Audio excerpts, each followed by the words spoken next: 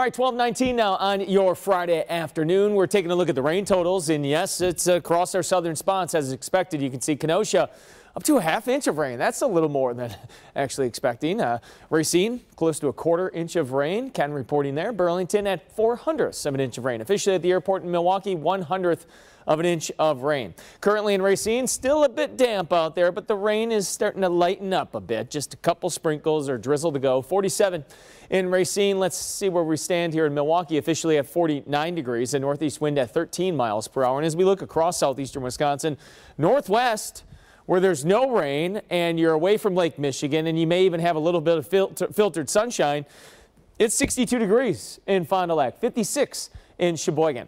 The trend will be the rain departing to the south and eventually some of this thinner cloud cover will push in and soon I think everybody will be in the 50s and then we'll start to see more 60s too. Let's go through the weather headlines. Again, a little bit of shower action south of Milwaukee, nicer weekend ahead and warmth heading into next week. All right, this is a big system.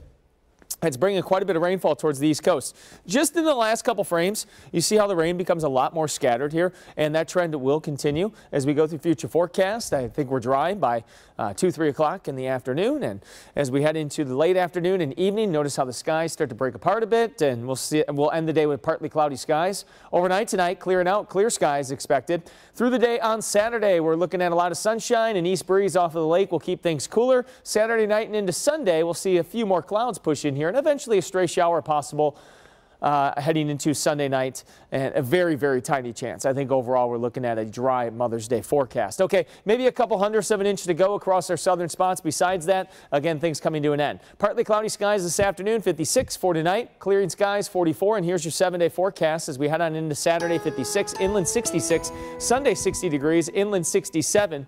And then as we head into Monday, 72, inland up to 80. There's a slight chance of showers on Tuesday and again on Thursday, but a mainly dry forecast next week and just what the doctor ordered, 70s and 80s inland.